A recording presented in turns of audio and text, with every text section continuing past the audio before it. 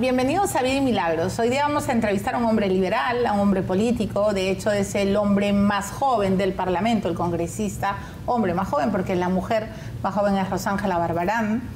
Eh, bueno, siempre defiende sus opiniones, le cae barro con licuadora en, en Twitter. Yo voy leyendo sus, sus peleas, sus propias batallas, y él básicamente defiende la libertad, ¿no? La libertad individual. Eh, y lo hemos llamado porque no sabemos nada de la vida de Alejandro Enrique Cabero Alba. Él se ríe y me dice, me sorprende que me hayas invitado. Bueno, entonces, Alejandro, ¿cómo estás? Bien, Milagros, encantado de estar acá. Primera vez que doy una entrevista sobre mi vida, además. Y me has dicho que tu vida es aburrida. Sí, yo cuando me entrevistaste dije, qué aburrido, porque yo soy la persona, digamos, más aburrida que vas a encontrar, pero dije, bueno, qué ¿Por interesante. qué dices que eres aburrido? Porque no eres de escándalos, de hacer la vida loca. ¿Por Sí, qué? porque siempre me he considerado pues el serio, el aburrido, ¿no? Soy, digamos... ¿Desde chiquito? No, al revés. Yo más bien de chiquito era el, el, digamos, el malcriado de la clase. Era al revés, absolutamente. Y más bien ya cuando fui creciendo, este, no sé... tranquilizando. Me fui tranquilizando, me fui volviendo más estudioso, me fui volviendo más tranquilo. Igual, igual me gusta ir a jugar, me salgo los fines de semana también, ¿no? Ajá.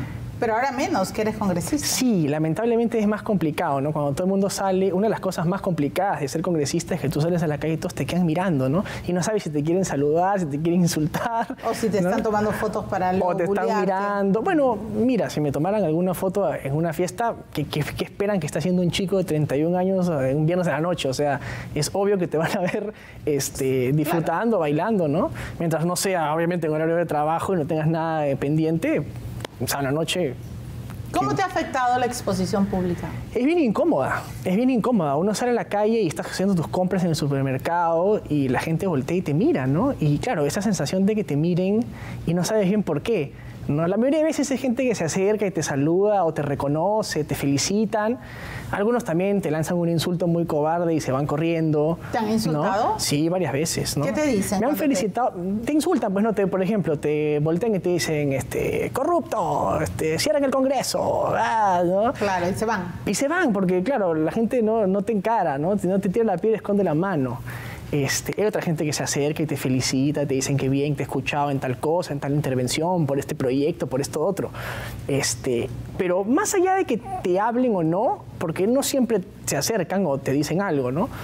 Es simplemente que te miren, es rarísimo. Yo nunca lo había vivido, es primera vez en mi vida, ¿no? Entonces uno está caminando. Nunca te había sentido tan observado. Claro, uno está en el Ni supermercado. siquiera, ni siquiera cuando declaraste abiertamente que eras gay. No, No, nunca. No, no, no, no, porque ya mi familia sabía hace muchos años. Yo salí del closet cuando tendría 18 años, 17, 18 años, ¿no? Estaba en el último año del colegio. Y mis papás siempre me han apoyado, mis mejores amigos siempre me han apoyado. Yo soy abiertamente gay, voy a las me, vas- me van a ver los fines de semana en las fiestas gay. Este, yo digamos no, nunca lo he ocultado, ¿no? O sea, claro, no fue que tu primera sobreexposición fue cuando... No. Lo cual, lo cual en verdad te quiero decir que a mí me aturde cuando salen, tienen que, o no sé si es una obligación, pero cuando este, a algunas personas se les exige salir del closet, porque a los heterosexuales no nos exigen Así salir y hablar de nuestra vida sexual. Entonces a mí, para empezar, eso me parece dispar. Yo ¿no? lo que siempre he hecho es que nunca, o sea, nunca tenemos que ponernos estereotipos, ¿no? Por supuesto. Los gays deberían ser así, No. los heterosexuales. A mí me han criticado muchas veces porque no cumplo los estereotipos de lo que algunos de la izquierda piensan que tiene que ser un hombre gay. O sea, no tienes para ser gay en el, en el mundo gay Ya. tienes que vestirte de una determinada forma, te tienen que gustar ciertas series de televisión queer, te tienes que escuchar cierta música, ¿En serio? hablar, hay muchos ¿Cómo te tendrías que vestir? hay mucho estereotipo, ¿no? O sea, uno piensa, hay mucho estereotipo. O sea, tú eres gay, tienes que ser estrafalario. Y yo la verdad que, como te digo, soy una persona hasta medio tradicional en mi, en mi forma de ser. ¿Medio conservador? no porque no soy conservador, yo creo que hay que dejar a la gente en libertad, pero no soy, soy tranquilo. Entonces, o sea, de- digamos de tradiciones. bueno, a mí me, Me refería a eso, ¿ah? en, en el término de conservador. Sí, ah, me preguntas, me encantaría casarme, me encantaría tener una familia, ¿no? Bueno, de hecho Eh, eres el propulsor soy el de la unión, civil. claro. Yo también creo que en el Perú se debería de dar la unión civil. Y, y ya te vas a, o sea, ¿sigues de novio? No, ahorita soy soltero, no, no, no tengo novio. Pero, digamos, Pero sí te gustaría casarte. Sí, obviamente, me gustaría casarme, tener una familia, este, digamos, y por eso te digo, hay, hay ciertos momentos en los que uno dice, no, si tú eres gay tienes que actuar de una determinada forma, ¿no?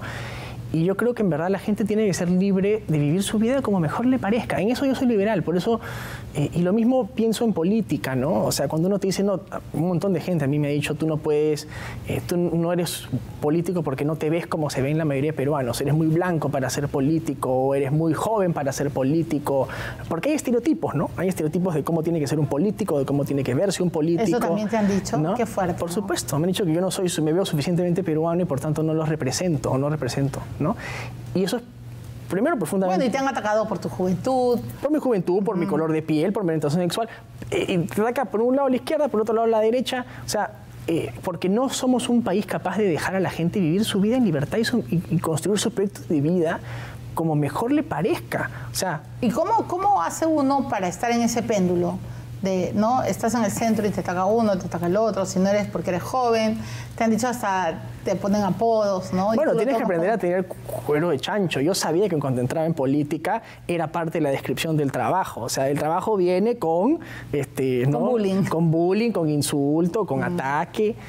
Y yo, yo lo que tengo que hacer es saber que es muy clarito quién soy, qué valores tengo, qué represento y lo demás me importa un pepino, si me quieren o no me quieren. Yo no entré en política para dar besitos y abrazos, ¿no? Yo entré para defender las cosas que creo, la libertad económica y la libertad política. Si no les gusta, no, hay que respetar, ¿no? Pero jamás, digamos, este, voy a, me vas a ver este, solamente para querer caerle bien a todo el mundo. En uh -huh. eso no me gustan mucho los caviares, que siempre quieren quedar bien con todo el mundo, no hacerlos políticamente correctos. No, quieren quedar bien sobre todo con Sorgoya. Y, y, además sale al toque un periodista a criticarlos y ya se echan para atrás, sí, se asustan, claro. reculan. Uh -huh. Eso no es para mí, ¿no? ¿Los periodistas te estresamos? No, yo porque yo he sido periodista. Yo sé que el trabajo en periodista es preguntar y hacer las preguntas incómodas, preguntar, cuestionar el poder es, es una función fundamental de la democracia. Yo lo he hecho en su momento siendo periodista y yo respeto mucho a los periodistas. Creo. ¿Tus años por el comercio fueron eh, intensos, complicados, conflictivos? ¿Cómo fueron tus años no, de periodista? A mí me encantaron mis años de periodista, déjame decirte. Yo, yo entré al comercio a la sección editorial. Eh, como practicante primero, cuando estaba Fernando Berkemer de editor de opinión, que fue un jefe extraordinario y, y, me gustaba porque sentía que podía contribuir formando la opinión de la gente. ¿no? Los editoriales además eh, eran para formar opinión, era la sección de opinión. Sí, ¿no? claro. Y, este, y esa parte me, me encantó mucho. Pero claro. ¿Ya te habías graduado de abogado? No, era practicante. Yo practicaba en ah, la sección okay. editorial y después cuando me gradué me contrataron en la sección de política y ahí estuve ya como contratado. Hice algunas entrevistas en su momento, eh, hice algunos informes, informes, digamos, este, sobre data, sobre uh -huh. problemáticas de fondo. Y, pero claro, al final yo termino saliendo del periodismo y me voy a trabajar después a, a la PCM y luego al Congreso porque sentía que en el periodismo yo podía aportar, pero al final del día no puedes hacer tú las cosas, ¿no? Tú puedes decir por qué no hacen los políticos, por qué los políticos son así, por qué son asá, y todo el día, nos, como periodistas, ¿no? tú me comprenderás, nos quejamos y decimos, ¿por qué el Congreso no hace esto? ¿Por qué no hace lo otro? Y dije, bueno, me tocará irme al otro lado, pues saber cómo es en el otro lado y tratar de hacer los cambios desde el otro lado, y eso es a lo que me he dedicado hasta que decidí postular al Congreso, y acá me tienen. Y acá te tenemos. Escúchame, Alejandro, ¿por qué nunca ejerciste tu, tu profesión de abogado? Porque yo siempre he pensado que el derecho es una carrera linda para estudiarla, pero no para ejercerla. Ay, por Dios. Los abogados te van a, te van a hacer. Y mi papá es abogado, mi papá es abogado, de un estudio de abogados, de casos, este, pero no sé, yo nunca me imaginaba tratando de convencer a un juez de una causa. ¿No te imaginabas en los tribunales? No, me imaginaba litigando, este, haciendo escritos, informes gruesísimos con doctrina jurídica. No, no, no era el estilo de vida que yo me imaginaba. Pero el, el, el, el foro parlamentario es casi un tribunal. Tienes que persuadir eh, en tus intervenciones también, estás frente al gran tribunal que es la población. Sí, pero es político, ¿no? No es, digamos, uh -huh. en un caso tú puedes, no sé, puedes estar viendo un divorcio, un, un juicio de familia, claro. un juicio de penal, un juicio de civil, matarte con un juez para que le den, no sé, para que le paguen una deuda a un fulano. Claro, te entiendo. No sentía que hacía nada realmente trascendente. Lo bacán del Congreso es que tú, y lo que no sentía tampoco en el periodismo en muchos casos era que yo hacía cosas trascendentes, pero que no siempre se lograba lograban materializar porque los que estaban del otro lado eran unos inútiles, unos ineptos. Pero bueno, a ver, ¿tu papá, tu, tu papá es penalista?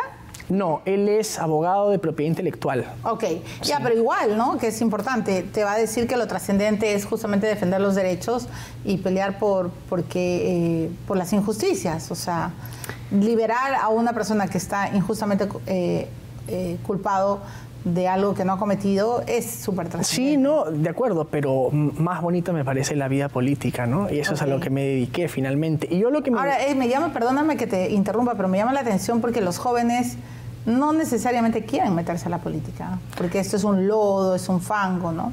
Es que yo creo que el drama de nuestra generación, Mili, es que somos una generación apolítica. O sea, nosotros hemos crecido en un país muy diferente al de nuestros padres. Yo nací el año 92, me bautizaron el 12 de septiembre, el mismo día que chaparon al genocida de Abimael Guzmán. El mismo día. El mismo día me bautizaron, 12 de septiembre, que ha sido hace poquito, hace un par de días. Sí, claro, escúchame, pero quiero entender algo. Te, te bautizan, pero todavía o sea, es el 12 de septiembre, pero todavía no han atrapado a Guzmán, porque a Guzmán lo atrapan en la noche. Ah, bueno, claro. O sea, eso tú no lo vas a saber, pero el mismo día de la captura el del mismo genocida, día, claro. qué día tan célebre para tu madre, además, o sea, en verdad. No, sí, es una, es una cosa que nos ha marcado a todos. No, claro, la celebración fue doble, porque claro, estaban bautizando y de pronto chapan a este genocida. Y eso marcó mi generación. O sea, yo crecí en un país más libre, más democrático, eh, un país muy diferente en el país en el que crecieron mis papás. Por supuesto. Mi papá tenía 26 años, era practicante cuando me tuvo a mí. Entonces, él creció en un país con coches bomba, ¿no? Eh, y yo crecí en un país muy diferente. Y creo que mi generación ha dado un poquito por sentado que vamos a seguir siempre siendo un país libre, democrático, y no que la libertad tiene que pelearse generación tras generación. Tu generación casi es, no, no, no quiero decir que, es, que ha crecido una burbuja o sobreprotegida, pero en efecto no ha vivido lo que mi generación vivió, que es esto, ¿no? La, los 20 años espantosos de terrorismo. Y yo creo que ha dado por sentada la libertad, cuando la libertad tiene que lucharse en cada nueva generación, porque después vienen quienes te dicen que la libertad es pues, cualquier cosa, que la puedes, la puedes no, y no es verdad, se y no es verdad. todos los días. Todos los días. Tu, papá te tiene a los 26 años. Joven, ¿tú eres el mayor? Yo soy el mayor. Mi papá tenía 26, mi mamá tenía 23. De hecho, cuando me tienen, mi papá era practicante y vivíamos en la casa de mis abuelos, o sea, sí. ¿Y, y cuando se van a vivir a Venezuela, es cuando eres chiquito? Eh, sí, yo estaba entrando, el último año de primaria entrando recién a la secundaria, ¿no? Sí. Te vas cuatro años, ¿no? Me voy cuatro años, eso cambia mi vida totalmente, ¿no? ¿Por qué? Porque yo creo que, digamos, uno nunca sabe lo que tiene hasta que lo pierde, ¿no? Yo creo que eso es en la vida en general ya sirve para el amor, para lo profesional. Y yo creo que me hizo ver al Perú diferente. O sea, me hizo valorar a mi país mucho más. De afuera uno valora al Perú mucho más de lo que lo valora adentro. Em, porque ves cómo lo miran otros países del mundo. Yo me acuerdo de ir a Venezuela y en esa época además estaba Chávez en el auge del precio del petróleo, estaban como a 200 dólares, el barril tenía plata y se la regalaba a Cuba, Nicaragua, a Bolivia, ¿no? Y yo veía a los venezolanos admirar cómo en el Perú hacíamos las cosas. Mientras ellos tiraban a la basura su, vamos, su boom de los precios del petróleo, en el Perú yo me acuerdo, yo veía de afuera, ¿no? En esa época está el presidente Alan García. Aquí se inauguraba el Estadio Nacional, se inauguraba el Metropolitano, se hacían los colegios emblemáticos, se inauguraba el Gran Teatro Nacional, se inauguraba el metro, la línea 1 y los venezolanos veían con admiración cómo crecía, el Perú crecía 7, 8, claro, 9. Éramos el milagro de América. Claro, éramos el milagro de América, y los venezolanos estaban yéndose derechito al fango, ¿no? despilfarrando su plata y viendo con admiración cómo en el Perú se hacían las cosas bien. ¿Cuán complicado fue vivir en Venezuela, lejos de tus amigos, no sé, de tu entorno más cercano? Fue complicado, ¿no? Como te digo, yo era un poquito el revoltoso en primaria y, eh, y, digamos, era un país diferente, con costumbres diferentes. Era además un colegio americano, o sea, yo no, a la justa hablaba inglés y me ponen en un colegio donde te hablan inglés. Todo el día. En todas las clases, todos los profesores son americanos, te hablan todos en inglés, ¿no? Y rojo de las clases porque yo básicamente interpretaba a mis profesores básicamente por las mímicas. Por intuición. por intuición, ¿no? Y por buscar, apuntar lo que veías y luego buscar en el diccionario y tratar de traducir. Fue terrible. Me pusieron en un programa especial justamente para, para, para quienes... ¿El primer año lo pasaste mal? Sí, fue complicado, fue complicado. Ah, cuando te cambian en primaria sin tus amigos, sin tu idioma, sin tu país, ¿no? Este, valoras mucho lo que, lo que dejas atrás Y ¿En qué colegio estudiaste acá en Perú? En, aquí en la Inmaculada. Ya. Yo soy de la Inmaculada, del Colegio de los Jesuitas. Y allá estudié en un colegio americano, ¿no? Que se llamaba el Campo Alegre. Y allá obviamente te cambia todo. Ahí un poquito que me tranquilizo y claro, como no tienes amigos, nada, te dedicas a estudiar, pues, ¿no? Te dedicas a probar tus cursos. Y seguía mucho la política peruana desde chico, desde allá, ¿no? Viendo, como te digo... ¿Eres un chiquiviejo? Un poquito, sí. un poquito un chiquiviejo. Hasta ahora creo que soy un poquito un chiquiviejo. Este, pero siempre ha sido parte de mi personalidad. Por eso te digo, ¿no? A veces los gays piensan que yo no encajo bien porque soy un chiquiviejo. Este, me- entonces... Que no vives la vida loca. Sí, sí me gusta juerguear. Sí salgo a juerguear. Tampoco, soy un, tampoco me quedo en mi casa los fines de semana, ¿no? Pero no sé, sí soy un poquito, un poquito chiquiviejo en... Y en un colegio religioso eh, tan conservador como la Inmaculada, fue, debe, debió ser complicado ser gay. Bueno, es que yo salgo recién el último año de, de secundaria, ¿no? Yo con Ah. toda mi primaria yo no, digamos, todavía era muy chiquito, me habría ido yo a Venezuela con 13, 12 años, ¿no? ¿Terminaste el colegio en Venezuela? Eh, no, volví el último año aquí, estudié cuatro años fuera y luego tuve la oportunidad de volver el último año con mi promoción.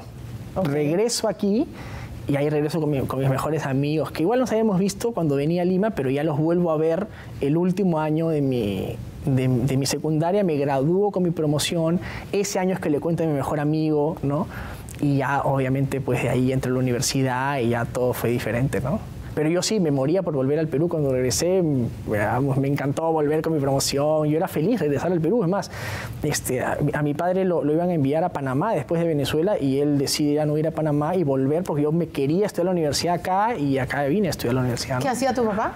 Él es abogado, trabaja en una Ah, transnacional. igual fue, o sea, digamos, en propiedad intelectual. En era- propiedad intelectual, Ok. sí.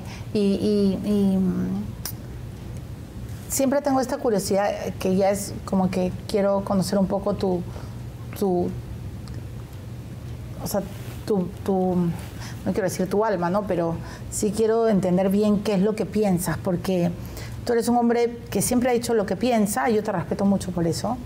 Eh, a pesar de que pueda estar o no de acuerdo contigo, siempre has defendido tus ideas y eso me parece bien.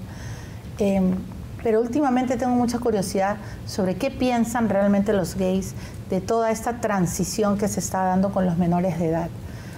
Eh, yo tengo mi opinión muy personal, pero quiero escuchar la tuya. O sea, ¿estás de acuerdo con que a un niño que tiene, que se siente mujer, eh, le hagan la, o a una niña que de pronto se siente hombre, ¿no?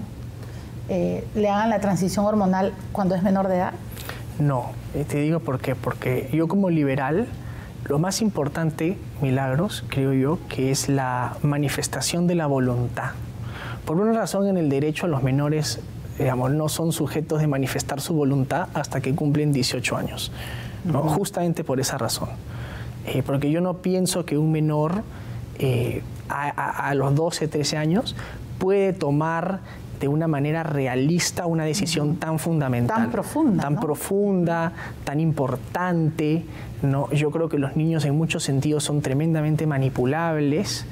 Y yo pienso que por lo menos hasta que no tienes la edad que en el Perú asumimos como la edad de capacidad, que es 18 años, en otros países es hasta 21 años, ¿no? Ellos puedan tomar una decisión consciente. Yo creo en la libertad. Y yo siempre he defendido a la gente además que quiere transicionar a otro sexo, pero cuando tengas la capacidad de tomar esa decisión.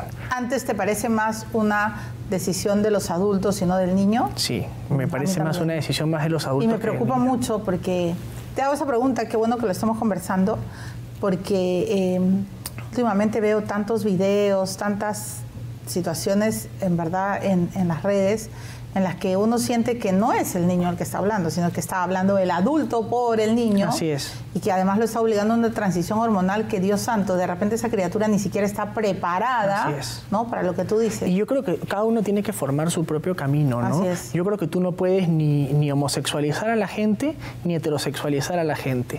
Yo creo que eh, si fuera tan fácil, pues todos los gays nos heterosexualizaríamos o viceversa, ¿no? Así es. Este, no es así. Y yo creo que cada uno va encontrando su, su propio, su, su- su propia orientación y la vas descubriendo y eso es un proceso que toma mucho tiempo, que se encuentra en la madurez Y, y que yo creo que un niño de, de 11, 12 años todavía lo, lo tiene muy primariamente como para tomar una decisión de esa trascendencia que ya no tiene vuelta atrás.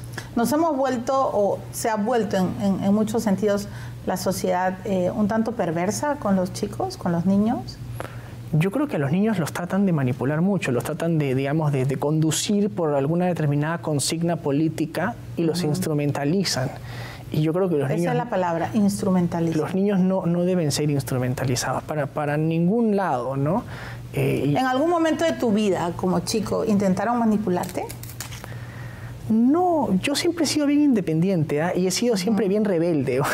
Eh, como te digo, de chico. No pareces, ¿no? Porque eres bien. De chico era más rebelde incluso que ya de grande, ¿no? Yo... Generalmente, claro, tú das una idea de un chico más tranquilo, ¿no? Sosegado.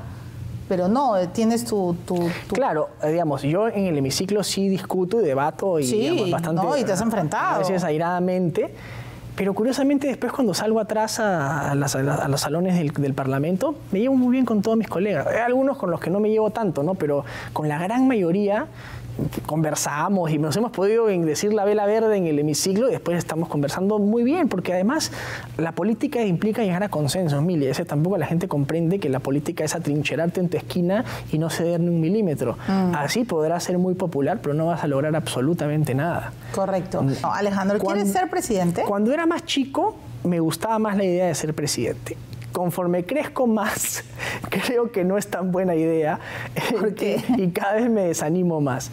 Porque mira cómo acaban los presidentes. ya, pero si no eres corrupto no vas a acabar preso. Pero igual te van a tratar, o sea, igual te van a tratar de encontrar hasta el color del pelo, el color del calzoncillo, te van a buscar todo, te van a buscar todo. O sea, yo no sé, por más que estoy convencido que podría pasar el estándar, no sé si quiero ese estilo de vida. Justamente hablamos al comienzo de eso que te estén mirando. Yo hasta ahora no tengo muy claro si ese es el estilo de vida que quiero tener. De ser esa o sea, no estás tan claro de que si quieres seguir siendo, de que si quieres permanecer en política, ¿no está claro ese camino? No, porque, a ver, la política tiene muchas formas de hacerse o de ejercerse, igual que el fútbol, ¿no? El fútbol tú puedes ser el espectador que va al estadio, puede ser el director técnico, puede ser el periodista deportivo o, el puede ser o el, jugador. Correcto. Lo mismo en política. Hay muchas formas de hacer política sin que tú seas el, que, postula, ¿no? Eh, yo siempre voy a estar en política. La política es la pasión de mi vida, es lo que yo hago todos los días, es lo que me encanta. Si yo voy a ser el político, no lo sé. Eso va a depender de las circunstancias y de que yo me sienta cómodo. Todavía estoy descubriendo, es la primera vez que soy, vamos, el jugador que sale a la cancha, ¿no? Y estoy descubriendo si te gusta que te miren en el supermercado, si te gusta que vayas a una fiesta. Claro, o sea, lo que te ha... Mm, mm, tengo que ir a la pausa, pero digamos que para cerrar ese bloque, lo que más te ha incomodado es el sentirte observado. El ser una figura pública. Tú lo debes conocer muy ah, bien. No, es, bueno, es, complicado. Muy complicado. Entonces, eh, me encanta lo que hago, pero aún no sé si estoy cómodo con esa forma de vida. Y ser presidente es la forma más, pública de vivir la política. Por supuesto, por supuesto. No, no, no, sí, claro, sí, entiendo a lo que vas. Em, vamos a la pausa. Vamos a porque me habían dicho que sí querías ser presidente, que te estabas preparando, que todavía eras muy joven y que, bueno, que no nos sorprendiera que en algún momento te lanzaras. Por eso te dice la pregunta esa. Antes más que ahora. Antes más que ahora. A Alejandro Cabrero le dicen Chicken Little. Sabes, ¿no? Sí, y de hecho eso fue un apodo que me pusieron los izquierdistas en Twitter, un poco para fastidiarme. Ah. a mí siempre cuando... Pero lo has usado a tu favor, ¿no? Es que a mí siempre que me han querido, digamos, atacar políticamente, muchos me han querido chibulear porque me han querido disminuir. O sea, cuando a ti te dicen tú eres un chivolo, ¿no? que no sabes nada porque tienes 31 años, ¿no? es la mejor forma de, usando la hominem, querer bajarte políticamente. Entonces, cuando a mí me dijeron Chicken Little, comenzó como un insulto, comenzó como tú eres un chivolo que no sabe nada, porque la película en Chicken Little, Chicken Little, no sé si recuerdas en la película, él empieza gritando que vienen los aliens a invadir el planeta y dice, este es un loco, nadie le cree, ¿no? Al final tenía razón y al final salva el mundo desde la película. ¿no? Te dije, este es un buen personaje como para responderle a la izquierda. Y lo utilicé. Yo no tengo cero complejos en que me critiquen o me comparen, digan que mis lentes parecen de Harry Potter, lo que quieran decir. Pero cuando ves Chicken Little dices, sí, ¿no? De repente me parezco un poco a él, no. Sí, bueno, por los lentes, ¿no? Los lentes son una cosa característica. Y también te dicen Harry Potter, ¿no? Dicen que se parecen a los lentes de Harry Potter. Entonces, pero mira, al final lo utilicé y me sirvió porque la gente te reconoce. Y lo más importante en política es que la gente se acuerde de ti, porque si no se acuerda de ti, ¿para qué estás en política? Bueno, es usar un recurso, ah, me quieres hacer daño, yo voy a usar, lo voy a, le, voy a, le voy a voltear la tortilla. Exacto, porque eso comenzó como un ataque, ¿no? No, sí, me acuerdo, además cuando decían Chicken Little, eh, todos los memes que has tenido. Bueno, te han hecho mil memes, ¿ah? Al final los usaba yo también. Sí, por eso, pero tú con mucho humor lo, lo volteas a tu favor. Ya, vamos a regresar hablando de la libertad, de los memes, de los avatares y de los otros demonios. Regresamos.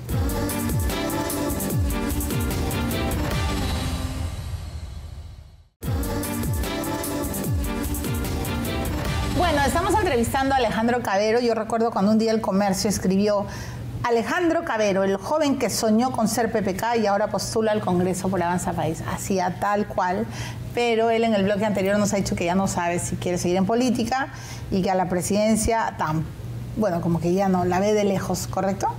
Sí, cada vez me animo menos. Cada vez te animas menos. Sí, la política es muy complicada. Es complicada. ¿Qué otra, qué otra mm, circunstancia complicada te ha pasado, te ha tocado vivir? Porque siento que tu vida ha sido, bueno, de repente es porque no la conocemos, eh, bendecida, tranquila, ¿no? A diferencia de otras personas que han eh, contado su propia historia, has dicho, yo nunca tuve problemas, tuve una buena familia que me entendió, eh, tuve muy buenos amigos, ¿me dejo entender? O sea, como que no sé si hay pasajes dramáticos o oscuros o complicados que quieras compartir. Eh, es que en realidad, como te decía hace un rato, yo, yo he tenido una vida mm, bien tranquila y siempre he estado muy agradecido de las cosas que, que me han pasado. O sea, digamos, eh, cuando, me to- cuando tomé la decisión de salir del closet, eh, fue, digamos, súper espontáneo, mi, mi familia me apoyó, siempre me han apoyado, mis amigos estuvieron ahí para mí. Eh, incluso cuando postulé al Congreso, que también fue una decisión compleja, eh, jamás eh, pensé ni siquiera que iba a salir elegido, ¿no? Este, y, y yo hacía la campaña... ¿Pensaste que no ibas a ser elegido? Yo pensé que no, yo lo estaba haciendo porque yo quería defender las cosas que sentía que nadie más defendía, punto. No, no, digamos, eh, tú comparas lo que gasté yo en la campaña con lo que han gastado otros candidatos al Congreso, es casi nada, ¿no? Y yo no tenía la idea de que iba a entrar, tenía el número 14, además que es un número dificilísimo, ¿no? Para entrar al Congreso. Y salí de los más votados. Sí, claro. Entonces yo... Y me acuerdo de tus entrevistas, yo te entrevisté también cuando eras candidato. Entonces, en realidad, digamos, momentos difíciles, complicados, la mayoría de ellos han derivado de la política, de, no tanto de mi vida familiar. este, Pero mira, has vivido varias circunstancias en política, ¿no? La caída de PPK, a quien admirabas. Sí. Eh, la caída de Hernando de Soto en las elecciones, ¿no? Sí. A quien también respetabas. Eh, bueno, el- el- la vacancia de, de Vizcarra, has vivido la vacancia de... Bueno, sí, pues la vacancia, pero primero el golpe de Estado de Castillo, o sea, Mm. eh, eres joven, pero has vivido varias cosas, ¿no?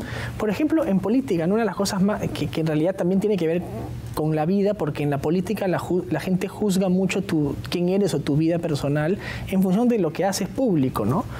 Eh, uno de los momentos más difíciles de estos dos años fue, y donde hubo mucha presión, fue, por ejemplo, cuando me tocó el caso de Manuel Merino, ¿no? Fue un caso difícil, Correcto. complejo, donde yo estaba, yo me leí las pericias balísticas, los informes de la fiscalía, siete tomos que nos mandó el Ministerio Público, y yo llegué a la conclusión que llegué basado en la evidencia que a mí me habían mostrado. Pero la gente te insultaba, te decían La que... gente quería que tú colgaras a Manuel Merino. Claro, querían que y me acusaban de asesino, de sí. cómplice. Y yo lo que hice fue actuar con imparcialidad y con objetividad y en función de las pruebas. Y de hecho hasta ahora, mm, más de un año yo he quedado sin informe, el Ministerio Público con las mismas pruebas terminó archivando el caso. Sí, claro. No, no, no por ¿Crees, crees que el Parlamento eh, fue muy injusto con Merino? O sea, ¿crees que el- esos tiempos de convulsión después de la vacancia de Vizcarra, eh, el, el decir, no, me acuerdo del hashtag, ¿no? Merino no me representa, Mira. era un golpista. Yo no entendía, o sea, todos se volvieron yo, locos. yo, yo lo que vi es que en ese momento el aparato caviar estaba en su máximo apogeo. Era Sí, una claro. cosa incontrolable. Vizcarra tenía el control absoluto del aparato público. A Vizcarra se le evacuó además siendo un presidente súper popular y en claro. total control del aparato Sí, público. Pero por Dios, si ya se había, los propios colaboradores habían dicho que había... Y en ese momento tenía la Defensoría, la Junta Nacional de Justicia, la Fiscal de la Nación, tenía todo y tenía la popularidad en el cielo. Entonces yo lo que siento es que hubo un parlamento cobarde que se dejó arrinconar y se echó para atrás de la decisión que había tomado. En, primer momento entonces no hubieran tomado la decisión que tomaron. ¿no? Pero y lo que más me asombró después fue todo esta, este aparato, como tú dices, que que, frente a la sucesión constitucional de una persona que pudo ser Merino y pudo ser cualquier otro, ¿ah? dicho sea de paso. Y, tampoco pienso, perdón, que, que Merino haya sido un buen presidente, porque una de las cosas que te decía hace un rato, o sea, él se, acobardó muy temprano. También. O sea, se acobardó él, se acobardó el Congreso, se acobardaron todos, se dejaron presionar. Sus ministros lo dejaron solo. Todos. O sea, si vas a entrar en política no es para caerle bien a la gente, es para defender. Yo no, yo no bueno, independientemente de, de lo que pensemos y no estando en una entrevista política, tú y yo, o sea, Dina no se acobardó, pese a que le han gritado asesina y de todo, ¿no? Por ejemplo, ¿no? O sea, hay que reconocerle Hay que reconocerle que ha sí, claro, porque Merino sí creo que lo dejaron solo, creo que él también retrocedió con la, la muerte de Inti Bryan, pero a mí me sorprendió muchísimo cómo Vizcarra y Sagasti impulsaron las marchas y cómo luego Sagasti se él mismo se dio cuenta que si Rocío Silva Santisteban podía ser presidente, mejor era él, y la declaró no idónea.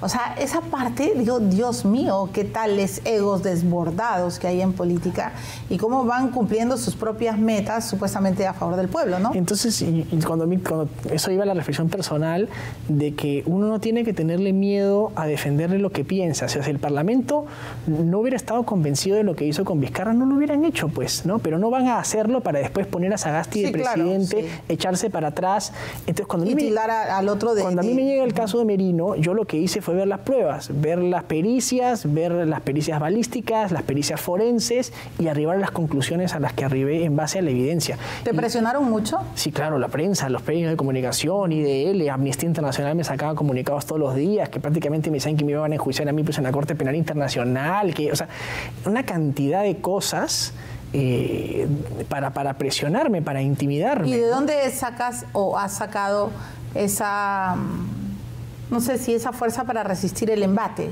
Porque es bien, es bien complicado soportar bullying, es bien... Sí. cuando el coro, y además es nacional y no estridente, uno puede tambalear. ¿Quién te ha ayudado o qué te ha ayudado a, resistir? Eh, una de las cosas más, bonitas que, que, a mí, que, que yo he vivido, que es parte de ser una persona pública, ¿no? Pero a mí con mucha frecuencia se te acerca la gente en la calle. Y, tú no, o sea, tú puedes estar todo el, todo el Twitter, puede estar insultándote, te dándote barro, ¿no? Pero sales a la calle y alguien se te acerca y te dice, te felicito por lo que has hecho acá, qué bien que has defendido esto o qué bien que has defendido lo otro. Eso sí te reconforta, porque la gente de a pie, que no está metida en el Twitter, que no son los mismos ONGeros con las cuentas trolls, sino que es la gente de a pie, ¿no? La que te dice, oye, te felicito por esto, por esto o por, esto. Eso, eso a mí sí como me, me reconforta el día y me hace decir, bueno, de repente sí estoy haciendo las cosas bien, ¿no? este... Pero la resistencia personal, o sea, me has dicho, un momento complicado fue es cuando me tocó ver el informe Merino, lo estoy recordando claramente, pero y digamos en tu terreno más íntimo, ¿ha pasado algo en tu vida que te haya eh, hecho tambalear alguna vez y que tú hayas necesitado mucho coraje para resistir? Pucha, De verdad no, o sea, lo único, lo único que podría compararse serían, digamos, cuando he roto con mi enamorado, ¿no? Si quieres verlo así, que es un momento difícil, pero eso le pasa a todo el mundo, ¿no? Correcto. Este, las penas de amor las Las penas de amor y, y, ese tipo de cosas, pero realmente así algo complicado. No, no has tenido ninguna ausencias, o sea, digamos, eres muy joven, pues, pero eh, dolores, eh, partidas. he tenido, he, tenido una vida bendecida. Claro, por ejemplo, ¿no? Me dolió mucho cuando falleció mi abuelo, por ejemplo, ¿no? Mis dos abuelos ya están fallecidos. Uno de ellos yo lo, quería muchísimo. Eh, e, era, digamos, yo compartí mucho con él. Pero claro, cuando falleció es parte del duelo natural de la vida, ¿no? Es parte de, cualquier partida, no, no es algo específicamente que digas es trágico, porque ya era una persona mayor. Porque era mayor y porque es lo natural. Es lo natural que va a ocurrir, ¿no? Que todos vamos a morir y cuando estás viejito, con mayor razón los días van más contados, ¿no? Así es. Pero, ¿y entonces te refieres a tu último novio del que me hablabas? Eh, bueno, es el único que he tenido hace cinco años. ah, bueno, tomemos agua. Ah. Ahora sí me dio pena. ¿Has tenido un solo novio? Dos, el último es hace cinco años. ¿Y puedo Pero no es nada trágico, ¿ah? Por ¿Y si puedo acaso. saber por qué han terminado? ¿Por la política? ¿Lo separó? Eh, no, teníamos visiones diferentes de la vida, ¿no? Pero Él se fue a estudiar fuera. ¿Ah? Te dolió, evidentemente. Sí, claro, por supuesto, como toda ruptura, siempre Sí, te claro. duele, ¿no? Sí. Este, ¿Se sí, fue a vivir fuera? Él se fue a vivir fuera. Eh, teníamos visiones diferentes de la vida, ¿no? O sea, y, y yo creo que al final... Bueno, también, perdóname Alejandro, bien complicado ser el novio del congresista, ¿no? No, pero hace cinco años ya no, pues. Ah, ¿eso ha sido hace cinco años? Claro, hace cinco Hace años cinco años estoy estás- soltero, hace cinco años. Ay, por Dios santo, esta parte me he perdido. Pero cuando yo te entrevisté, cuando estabas en campaña, o hace tanto tiempo te he entrevistado que estabas felizmente, no. ¿Tanto tiempo ha pasado? Hace cinco años que estás solo. Sí, sí, sí. ¿Y cuánto tiempo habías estado con él? Ah, casi dos años. Ah, o sea, te ha dejado herido, Alejandro. No, digamos, ya ha pasado tanto tiempo. Pero todavía no, no encuentras el... el- Pero es que tú me has preguntado, yo no tengo otra cosa, pues, o sea, no tengo otra cosa así que tú digas esto No, es. no, no, está bien, está bien. está- no, Entonces- no te, no te defiendas, no, estás subiendo otra vez la muralla. Me encanta este programa porque cuando entro en una parte así como muy dura, empiezan a cerrarme las puertas y digo, no, no, no te vayas. Eh, porque duele, pues, cuando uno termina y está profundamente enamorado. Ah, claro. Por supuesto que duele. ¿Lo has vuelto a ver? Ah, no. Desde, ¿Desde que se fue? Desde que se fue, sí. ¿Y ¿No se escriben nada? Nada. ¿Para qué? El pasado hay que dejarlo en el pasado. Ah, ya, a ver, cuéntame. Sí, el pasado ¿No eres de los que regresa a- a, No, yo creo que ya son etapas diferentes de la vida. Eso ha pasado hace tanto tiempo. Y... O sea, no eres de las personas que eh, se conduele, se victimiza mirando lo que dejó atrás y Yo tiene creo- sus látigos y, ay, si yo hubiera hecho esto, si hubiera hecho lo otro. No. No, lo que Tú tienes que hacer es, lo que tienes que aprender, sí, voltear la página, pero aprender siempre las lecciones de las cosas complicadas que te pasan en la vida, ¿no? O sea, saber qué cosas nunca más repetir, saber qué cosas nunca más aguantar, es saber eh, siempre en qué cosas has fallado tú y aprender. O sea, cuando uno va cerrando capítulos, lo cierra, porque la vida, no puedes pasarte la vida lamentándote, tirándote eh, látigos en la espalda, porque nada, de eso, nada bueno sale de eso. Lo que tienes que hacer es, ok, terminaste con esta persona porque no funcionó, te dolió muchísimo, porque, digamos, se querían mucho, pero de eso aprender la lección y no repetir los errores en el futuro, ¿no? O sea, yo creo que tienes que sacar siempre de las cosas malas que te puedan pasar. eh, Las lecciones. Las lecciones, ¿no? Las lecciones de, de- de vida, finalmente. ¿Qué, has, qué, qué es en estos 31 años, qué es lo que has mejorado que a ti mismo te enorgullece? O sea, algo que has tenido que cambiar eh, en tu vida y que tú dices, wow, sí, en verdad antes eso no estaba bien y ahora creo que soy una mejor persona. soy más sociable que lo que era en el pasado. Antes era mucho menos sociable, mucho más re- eh, retraído. Más tímido. Más, mucho más tímido. La política me ayudó a soltarme. eh, yo era bastante más tímido, eh, bastante más callado. Eh, ahora, digamos, soy un poco más... Ah, o sea, eres un niño, ra- perdón, un niño. Bueno. Es que es muy soy un niño. No, no. es que- y bueno, y además te habrán dicho que eres come años, ¿no? Que pareces más Ah, chivolo. sí, gracias, gracias por ¿No te han dicho eso? Eh, sí, alguna vez. Sí, o sea, tienes 31, pero pareces menor. O sea, eras un chico realmente introvertido, porque eso me dijeron. Pero yo te veo y siempre eres como locuaz. Y digo, ¿dónde está su introversión? Es que esas son las cosas que he cambiado, es una de las cosas que he ido aprendiendo. Y Yo, de hecho, co- compraba muchos libros sobre inteligencia emocional, ¿no? Cosas así porque, eh, obviamente, estas cosas... ¿Sentías que estabas en una caparazón? Claro, y además estas cosas, yo, yo siempre he pensado que no es malo leer sobre psicología. No, sobre- nada, Para para nada, nada. porque la respuesta a veces no la vas a encontrar tú mismo. Hay gente que ya no vas a inventar la rueda, ni vas a Oye, lo malo es robar, matar. Leer no es malo. Y si quieres leer, está bien. Y, y- y bueno, entonces eh, con eso vas cambiando, ¿no? Cómo entablar una conversación, cómo romper el hielo. Yo me podía quedar así mirando y sin hablar, sin abrir la boca, ¿no? Y eso creo que lo he ido cambiando. que en una reunión, po- po- po- o sea, digamos, eras tan tan tímido que podía pasar toda la noche y tú no hablabas. Claro. Ah, no, me muero. Claro. Y, y eso yo lo he ido cambiando con el tiempo, ¿no? ¿Y por qué? Por una extrema, o sea, ¿qué, qué pasaba por tu mente? Que de repente te ibas a equivocar al hablar. Yo creo que no, yo, es que sí, yo Porque creo, quiero entender a los tímidos. es que yo creo que tiene que ver mucho con el autoestima también. Si tú sientes no, no tengo nada que aportar acá, ¿no? Eso es, eso es tú mismo no creértela. O sea, cuando tú sales y dices, yo acá sí puedo participar porque tengo cosas interesantes que decir, porque ahí tengo algo que aportar, pero te mueres de miedo de que los demás juzguen lo que tú vayas a decir. No quieres abrir la boca porque te mueres de miedo de que alguien diga, no, este, este está diciendo una estupidez. que te vayan a juzgar. Está diciendo una tontería. o no está diciendo nada suficientemente inteligente o importante. Y eso es no, no saber construir tu, tu autoestima, ¿no? ¿Y crees que antes tenías, eh, no tenías tanta autoestima? Sí, en el pasado yo tenía muchos más críticas hacia mí mismo de las que tengo ahora. Ahora yo he aprendido mucho más a aceptarme con mis defectos, con mis virtudes, este, y soy perfectamente consciente de los defectos que tengo, y así siendo consciente digo, ya no los voy a poder cambiar, no hay nada que hacer acá. ¿no? O sea, has aprendido a quererte. Claro, porque tienes que aprender a aceptarte además, o sea, aceptarte en todas tus facetas, las buenas y las malas, para saber primero que nada, quererte a ti para poder querer a los demás y que los demás te quieran, con tus defectos, con tus virtudes. Con todo, este, pues, con que todo, pues, que seas una ¿Cuál, persona. ¿Cuál es el defecto más grande que tienes? Que me dices, ya aprendí y que no creo que vaya a cambiar. Bueno, a veces soy bien renegón, ¿ah? aunque no parezca. ¿Eres renegón? Sí, sí, sí, soy Pero renegón. Little Chicken sí parece. ¿no? Todos dicen, es como Harry Potter. tranquilo. No, No, eres sí reniego, renegón. sí reniego. Ah, sí, y hay ahora- cosas que me sacan de quicio. Ahora entiendo la pelea con Sigrid, ¿de dónde salía? a veces reniego. Y a ¿Eres veces iracundo? Eh, no, no iracundo, pero sí reniego. A veces hay cosas, por ejemplo, que a mí Que te me- sacan de quicio. Me sacan de quicio y este, entonces obviamente, digamos, me, me gusta, soy bastante parametrado de muchas cosas, me gusta que las cosas se hagan de una determinada forma y si no se hacen de esa forma. Y a veces he aprendido justamente que como eso es uno de mis defectos, y es una de las cosas que estoy aprendiendo a, a dejar... A bajar el volumen. A bajar el volumen, a decir, ya, mira, ¿sabes qué? Ya no, me voy a, ya no me voy a renegar por esta cosa, ya, ¿sabes qué? Yo creo que la inteligencia, Mili, está en aprender a distinguir lo importante de lo accesorio.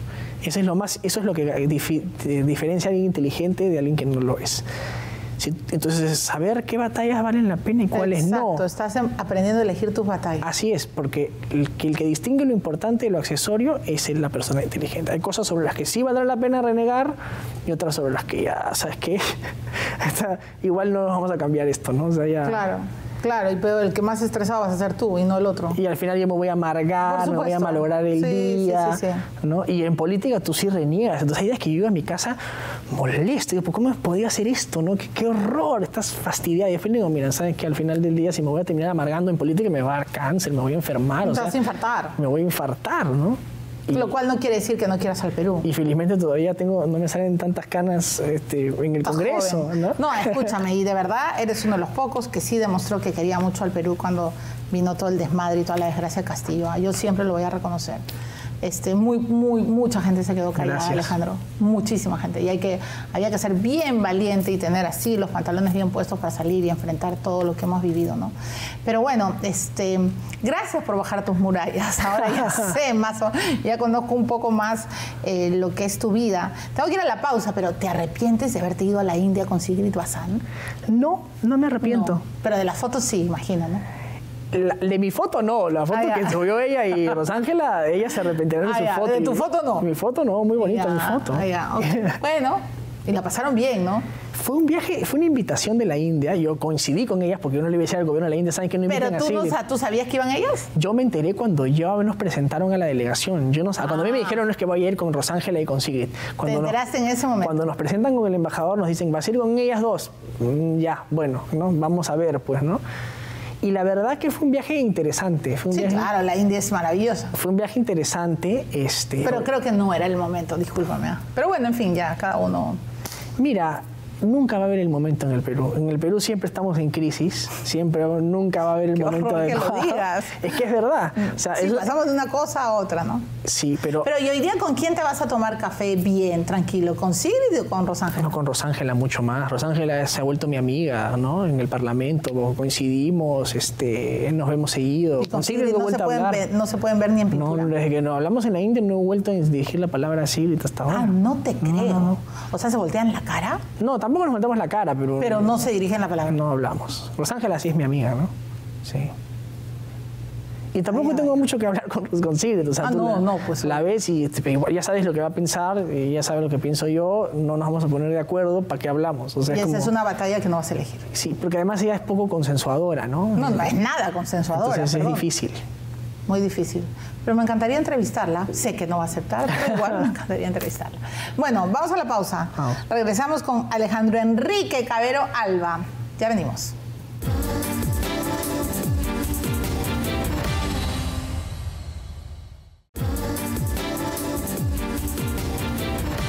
Bueno, estamos entrevistando a Alejandro Enrique Cabero Alba, que es abogado, ha trabajado como periodista, eh, hoy es parlamentario y no sabemos si se va a quedar en la política. Yo creo que sí. Pero bueno, vamos a seguir eh, conociendo su vida. ¿Cuál ha sido realmente, eh, esta es una pregunta de rigor por el programa, ¿no? Por el nombre del programa. ¿Cuál ha sido el milagro de tu vida, Alejandro?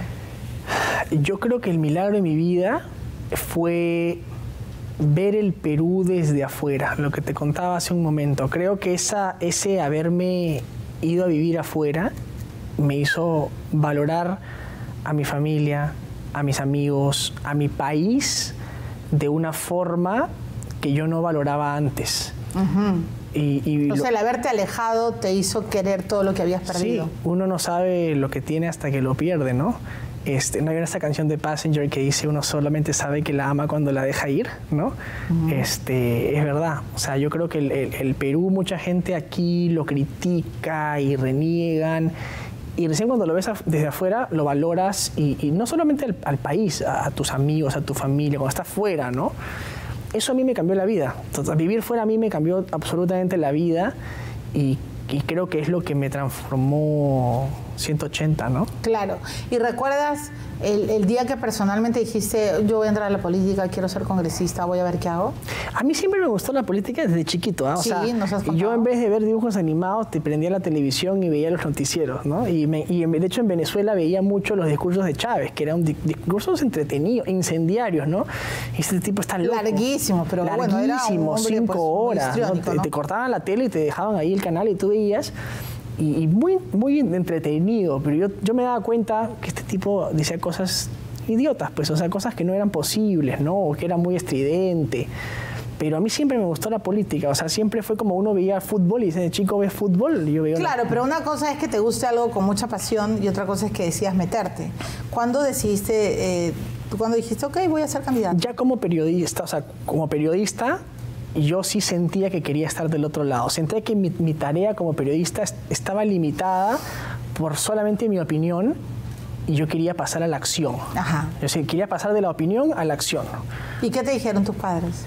Siempre me apoyaron. Mis papás, eso es lo bueno. O sea, desde que yo salí del closet, de que quise postular al Congreso, este, yo, digamos, eh, siempre me han apoyado. Ahora yo con mis papás. Ay, qué loco, porque tus papás te tuvieron bien joven, ¿no? Súper joven. Yo con ellos no hablo de política, o casi nunca hablo de, pues más, yo les he dicho que por favor los domingos que voy a la casa no hablemos de política, porque comprenderás, todos estos años cuando voy a, con la familia, con mis tías, con mis abuelos. Lo único que te hacen es preguntar. Preguntarme, ¿qué va a pasar? ¿Lo, van, ¿Lo iban a vacar a Pedro Castillo? ¿Qué va a pasar con Dina? ¿Va, va a haber adelante? No. Entonces yo le he dicho, por favor, el domingo no se habla de política, este, porque justamente yo, digamos, con mi familia me, desintoxico un poquito de la política. es su remanso. Sí, es mi remanso. Pero a lo que voy es que tus papás fueron muy jóvenes cuando te tenían. y han sido sabios porque te han apoyado en todo, te han dado un buen tejido afectivo. Mi papá era practicante, o sea, era practicante y mi mamá trabajaba en Aeroperú en esa época.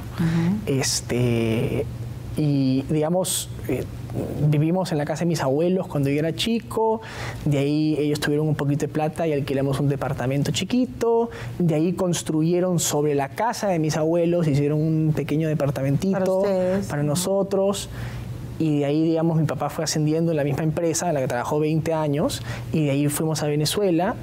Yo creo que ahí mi vida cambió absolutamente. ¿Tú eres el único hijo? Tengo una hermana nueve años menor que yo. Una hermana nueve años Nueve años menor que yo, ah, sí.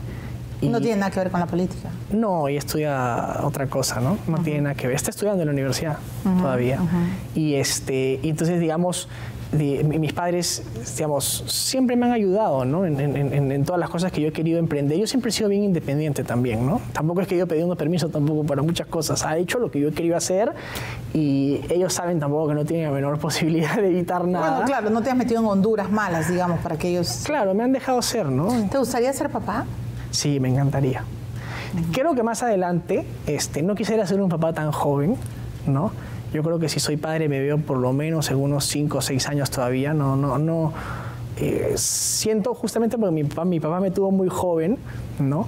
Yo creo que quizás, no sé, uno debería ser padre ya, digamos, con, con, con, con más ingresos económicos, con más estabilidad, ¿no es cierto? Con mayor madurez. Mayor madurez, más grande también, ¿no? Este, eso creo que es, que es importante, entonces yo eso quiero transmitirle a mis hijos. Yo me veo siendo padre de 37, 38, no, no me veo No, o siendo sea, padre. falta mucho. Sí. Escúchame, ¿y qué, qué te... Tenemos que ir a la pausa, pero si nos, nos contaras qué es lo más importante que, que tus papás te han enseñado, ¿qué dirías? Pucha, ah, yo diría que es lo que más me han enseñado es a ser auténticos, ellos me- o sea, a ser yo y nunca, nunca, eh, digamos, avergonzarme o, digamos, o, renegar de lo que soy, de lo que pienso, en- de, lo que quiero, ¿no? a ser yo mismo. Me dieron mucha libertad. Yo por eso soy liberal y creo que la libertad se ejerce con responsabilidad. Por eso cuando a mí me dicen, no, el liberal es ser libertino, la libertad viene amarrada, Mili, de la responsabilidad. Y mis papás creo que hicieron bien al darme libertad porque me enseñaron también a ser responsable. Y si yo me caía y me golpeaba y cometí un error, Eran las consecuencias de tus decisiones. y mis decisiones eran mías Claro. y ellos no se metían y me dejaban a mí caerme las 50 veces que me tuviese que caer y para aprender y sacar las lecciones de esas caídas. O sea, y eso creo que a mí es lo que más me hizo madurar. Más bien creo que los padres que controlan mucho a sus hijos y que los castigan y que los encierran, terminan siendo los más rebeldes y Sí, terminan siendo los, más fuera del camino de los que dejas en de libertad para que cometan sus errores. Si los bulean en el colegio, los bulearán, los fastidiarán, aprenderán, tendrán otros amigos, pues, y aprenderán, ¿no? Este, y yo creo que esa libertad que me dieron mis papás es lo que a mí más me ha ayudado, ¿no? Mm. ¿Cuál ha sido la caída más grave de tu vida? Pucha, Pero tú me has dicho, mis papás dejaron que me cayera y me cayera. mira, en el colegio, por ejemplo, cuando yo era extranjero, en un colegio en Venezuela, este, a mí me buleaban mucho por ser peruano, mucho, ¿no? Porque Venezuela pues era este país súper, ¿no? Así, que ellos se creían, se creían pues la creme de la creme de, Sí, claro. de Sudamérica, ¿no? Además tenían tanto dinero. tenían tanto dinero y habían sido un país muy desarrollado. Ellos veían al Perú pues como si fuera un pueblo, Una aldea, una aldea, correcto. un pueblo abandonado, ¿no? Y a mí me bulleaban mucho y, y- y eso me chocaba, pues me chocaba porque yo no estaba en mi país, eh, porque yo anhelaba volver a mi país y, y a ti te bulean por ser extranjero y te comparan y te miran acá, todas las empleadas aquí son peruanas, y, ¿no? y tú, y te sacan en cara y te insultan. Este, Y además recontra eh, discriminadores y racistas, como si... Pero por supuesto, Como si el ser trabajadora del en- hogar fuera un pecado, hay ¿no? mucho O sea, hay mucha discriminación hay mucho racismo hay mucho prejuicio no Eh, eso que te digo, o sea, tú dices, eres peruano, no, tú no pareces peruano, ¿ah? tú no te ves como se ven los peruanos, ¿no? O sea, no hay nada más estereotipado, hay una forma de ser, hay una forma en la que se ven los peruanos, o sea, eso no, no- no- es una tontería, Pero eso es bien ofensivo. pero por supuesto que es ofensivo. Porque Entonces, pinta de cuerpo entero a quien, a quien lo está diciendo. Y eso a mí me hizo saber que no tienen por qué haber estereotipos en la vida, que la gente puede ser de muchas formas, vivir su vida de muchas maneras. Eso a mí me hizo ser liberal, o sea, un poco mi filosofía política viene de mi forma de ser en ese sentido, que yo no creo en los estereotipos, no creo en, digamos, eh, yo creo en, en la, en la igualdad, en la posibilidad de que la gente sea libre, haga su propio proyecto de vida. Y, y- y nunca encasillarnos, ¿no? O sea, tú tienes que ser peruano de esta forma, o los peruanos son así, o son asá, eh, o los gays tienen que ser así, o tienen que ser Sí, así. claro. La gente tiene que ser como Sin quiera. hacer daño, ¿no? Trabajar en lo que quiera, vivir en lo que quiera Totalmente de acuerdo. pueda. Yo, yo estoy, además, este, te creo todo porque me acuerdo cuando llegué de Huancayo, una de las cosas que más me ofendía es cuando en la de Lima me decían, pero tú no pareces serrana. Y yo no los entendí, ¿qué les pasa? Claro. O sea, ¿me entiendes? Claro. Porque también es una forma de ser bien racista y bien discriminadora. ¿no? Como si los serranos que fuéramos. O sea, y, y me acuerdo cuando en Lima escuché por primera vez la palabra serrano de M, ¿no? Que me, me dolía en el alma porque yo era serrana. Tú tienes también, eh, tu madre creo Así que es, es de... mi, mi familia materna es de Cajamarca, mi Ajá. familia paterna es de Tarma, de, De Tarma, Junín, ¿no es justamente. Sí.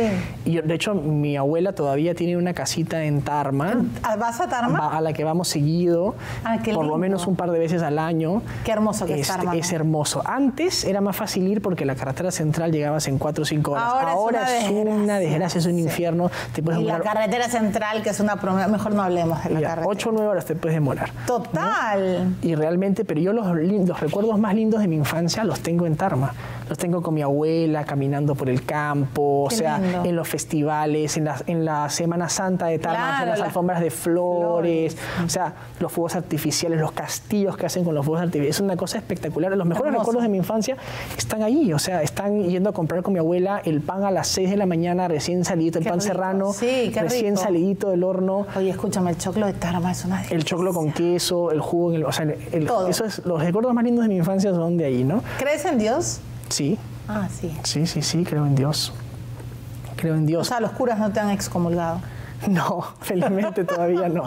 bueno, los jesuitas son bien buena gente. yo, yo tengo, o sea, creo en Dios, soy católico también. Em, pero yo creo que, digamos, eh, no soy tan practicante, ¿no? Yo tengo también una visión claro, no particular. Vas a todos los domingos. No voy a misa todos los domingos y hay ciertas cosas que cree la iglesia que yo no comparto necesariamente, hay otras que sí.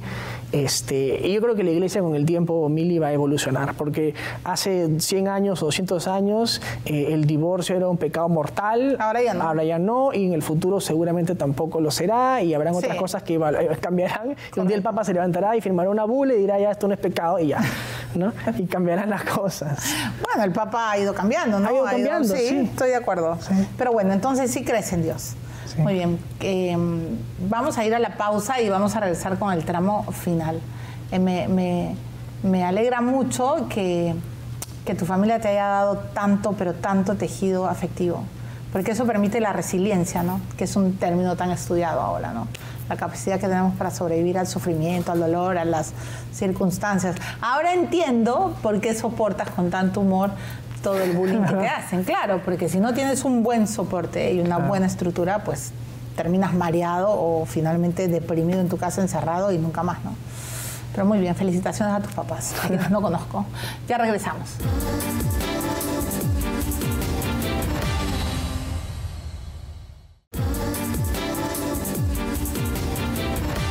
Bueno, estamos en el tramo final entrevistando a Alejandro Cabero, Alejandro Enrique, ¿no?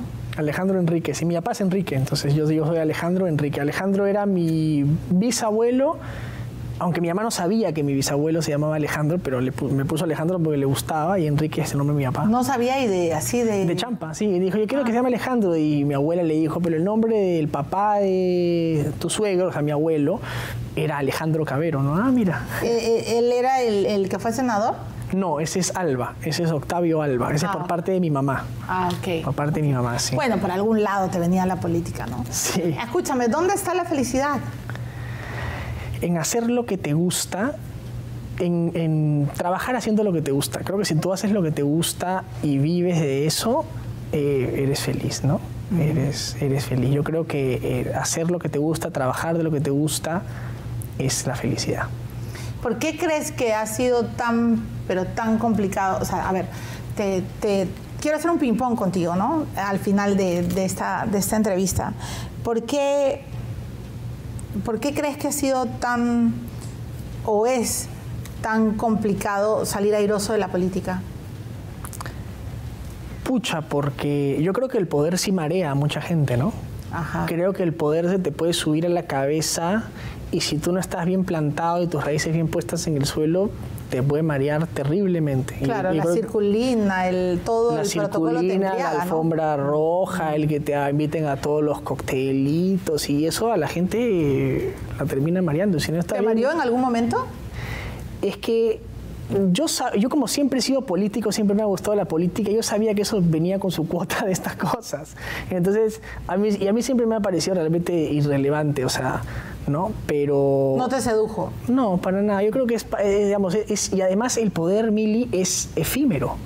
O sea, eh, no va a ser eterno, o sea, te van a poner la forma mientras tengas el cargo, de ahí te vas y vas a hacer un NN. El día siguiente que yo termine de ser congresista, voy a agarrar mi mochilita, me voy a ir caminando y voy a ser el mismo que era hace... hace... Pero hay gente que no maneja bien la abstinencia de poder porque les choca, se deprimen, sienten que quieren volver al Congreso. Cantidad de congresistas que se mueren y se les nota que babean en la televisión por querer regresar al Congreso, porque se sienten que han perdido el sentido de vida. ¿no? Yo creo que el Congreso es una etapa, es un momento en la vida en el que te dan poder para que hagas ciertas cosas, para que defiendas ciertas cosas, y de ahí el poder como todo en la vida es pasajero. No, además que si, si, si tratas de trabajar con decencia, quizás te cueste un poco más todo, pero puedes dormir tranquilo, ¿no? Puedes irte, puedes irte, tranquilo, puedes vivir, llegar a tu casa y, sin que nadie te fastidie. Vivir en libertad ya es... Ser libre, pues. La felicidad es ser libre, hacer lo que te gusta, hacerlo bien, ¿no? Y, eso, eso es lo más bonito que hay. Em, seguimos en el ping-pong. Esta, esta pregunta es con trampa. ¿Hernando de Soto debe volver a ser candidato? Me pones complicado porque Hernando, yo, digamos, yo he hecho campaña para que él sea presidente, ¿no? Y yo soy fruto de esa campaña presidencial. Creo que las campañas presidenciales y los políticos, así como decía Ortega y Gasset, todos somos yo y mi circunstancia. Y yo creo que las circunstancias de Hernando Soto, a quien yo respeto y creo que es una persona muy inteligente que ha aportado mucho al Perú, pero sus circunstancias son, son muy diferentes que hace dos años y que hace 15 o 20 años. ¿no? O sea, la respuesta es no. Muy bien, no, tranquilo. ¿Crees que em, Keiko debe volver a ser candidata? Yo siento que eso le compete más a sus militantes ellos son los que tendrán que decidir si la quieren a ella o no en, su candidatura. Eh, finalmente, mira, yo puedo pensar que ella no debe ser candidata, pero ¿quién soy yo para decirle a alguien no seas candidato? Si sus bases la escogen, si la gente la quiere y vota por ella, no podemos decir tú, tú sí, tú no, tú debes ser, tú no debes ser. O sea, yo creo que ella tiene una circunstancia bien complicada. Tiene, bueno, pero muy bien, ah, esta es una gran lección quién es uno, ¿no? Para decirle al otro no hagas si, si tú quieres andar, anda, pero... Como tú dices, cada uno va a asumir las consecuencias de sus decisiones. Uno asumirá sus decisiones y sus militantes la ponen ahí, eh, tiene cuesta arriba o una circunstancia muy complicada, pero ya ella asumirá su decisión, ¿no? Hemos terminado hablando de política inevitable. inevitable. Sí, Alejandro, eh, ¿hay alguien que te, que a quien admires sobremanera en la política hoy? Que tú digas, en verdad sería muy bueno que ella o él sea, eh, llegue algún día a Palacio? Mira, en, el contexto internacional ah, yo admiro mucho a Winston Churchill. En el contexto peruano, eh, yo creo que en el Perú eh, estamos bastante huérfanos de liderazgo, bastante huérfanos de liderazgo y de partidos. ¿Quién es una persona que, que, yo siempre he querido mucho, que respeto mucho y que creo que hubiera sido una gran presidenta del Perú? Es Lourdes Flores, por ejemplo tres veces candidata presidencial, ¿no? Este, muy criticada, ¿no? Eh, pero yo creo que hubiera ¿Pero sido. crees que lo hubiera hecho bien? Pero claro, yo creo que Lourdes hubiera sido una buena presidenta. Pero digamos, de acuerdo a las circunstancias, porque ella misma ha dicho, ella no va a volver a ser candidata. Y sí, y está bien. Ella, eh, como te digo hace un rato, yo creo que ella este, es igual que yo, que se va desanimando con el tiempo de volver a ser candidato, de ser candidato eventualmente, ¿no? Y eso está bien, porque ella obviamente valora más su vida profesional hoy, su vida, ¿no? Y está muy bien. Este, pero yo, yo veo en ella una persona coherente, y, me gusta como política, pero claro, este, eh, digamos, en el Perú ya, digamos, no, hay partidos, no tenemos clase política. no ves a nadie en el horizonte cercano? No, o sea, realmente no. Creo que los que estamos ahora, o sea, a ver, podrían ser candidatos presidenciales, ¿no? Y vamos a tener que escoger a uno, porque así es, vamos a tener una Pero lista. Hoy no, no hay alguien que te sorprenda realmente. Pero no hay alguien que yo diga... O que te ilusione. No, nadie me ilusiona, nadie me ilusiona. Yo creo que vamos a tener que votar por alguien, ¿no? O de repente surja alguien. Uno nunca sabe. Eso me asusta más de lo que me da esperanza. Realmente, porque en el Perú surgió Pedro Castillo, mira cómo estamos, surgió el FREPAP, mira Bueno, pero de repente Añaño se, se, se, anima. Ojalá. Carlos Añaño es un gran empresario y, y yo quiero ver si hace política si se come el pleito de meterse en un partido político. Claro, porque ha hecho patria, ¿no? Ha peleado contra la Coca-Cola. Por supuesto, no, y se ha enfrentado, ha enfrentado al, terrorismo, y todo. ha hecho empresa. De repente, uno nunca sabe. Ojalá. lo más complicado de entrar en política, Mili, es ser político. En el Perú lo que hay empresarios, gerentes, pero hacer política, una cosa es con guitarra y otra cosa es con cajón. Esa es una de las grandes lecciones, por ejemplo, que yo aprendí de, Pedro Pablo Kuczynski, a quien yo quiero muchísimo, que eh, era una persona muy preparada para ser presidente, tenía ideas fenomenales para el Perú, pero no se pudieron materializar porque no había proyecto ni partido político para construir una alternativa. ¿no? Hubieron presidentes, digamos, como Alan García, que tenían capacidad política para sacar adelante las cosas, para dar orientación, políticos, pues cuando hay político en el alma es diferente, ¿no? Y, entonces yo creo que acá lo que tienen que demostrar quien sea que quiere asumir el liderazgo del país es que tiene capacidad de hacer política. Quien, no tiene, quien tiene capacidad de ser gerente o de lo que fuera, bacán. Pero tienes que tener capacidad. El Perú se saca adelante haciendo política. Si no, la política te va a estrellar y te va a explotar en la cara. Si no, mira dónde estamos. Correcto. Gracias Alejandro por venir al, programa. Y tu vida no es aburrida. Déjame decirlo. Bueno, voy a terminar el programa. Yo me voy a quedar con, lo que, eh, bueno, con varias cosas, pero una sobre todo que ha dicho Alejandro Cabero, que el día que empezó a aceptarse y a entender que él también podía hacer cosas, que, que también importaba su opinión, eh, creo que se le abrió esa, esa puerta. Hoy día está en la política, pero podría estar en cualquier otro lado. Y creo que ese es un gran mensaje para todos. ¿no? Hay que aceptarnos, hay que querernos y hay que simplemente trabajar en lo que soñamos. Que estén bien, nos volvemos a encontrar con otro personaje en otro episodio.